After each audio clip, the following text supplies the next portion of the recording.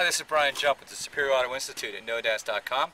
Today we're going to do another demonstration on a Mercedes ML350 fender dent. Um, before we do though, I want to show you folks something real quick. People are always asking me, how do you guys at Superior get such nice dent removal uh, quality? How come you don't see the, the typical texture you see in a lot of other technicians' work? And if you notice here on top of my cart, I've got these little sleeves I fit these over my, my wire tools and I've also got round caps. We cap a lot of our tools so the sharp tip of the tool is not actually protruding onto the metal making a nice sharp tip. I always use a ton of duct tape too to soften up my tip and that's how we work out the nice even smooth texture in the orange peel on the paint and leave no trace of the dent removal when we're done.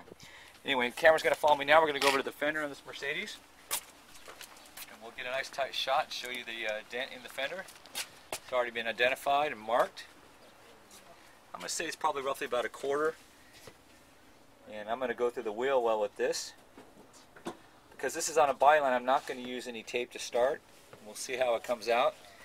And uh, if I take my time and do it correctly, we shouldn't see any texture either way. Okay, cameraman, we ready? Here's my tool. As you see, I'm using a blade. I'm feeding it through the wheel well on the Mercedes. I'm going to come right up here. Got my board all set. Do a little drag. And away we go.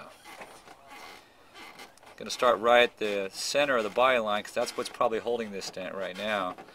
This Mercedes metal is pretty strong, much thicker than a, than a Honda or a Toyota.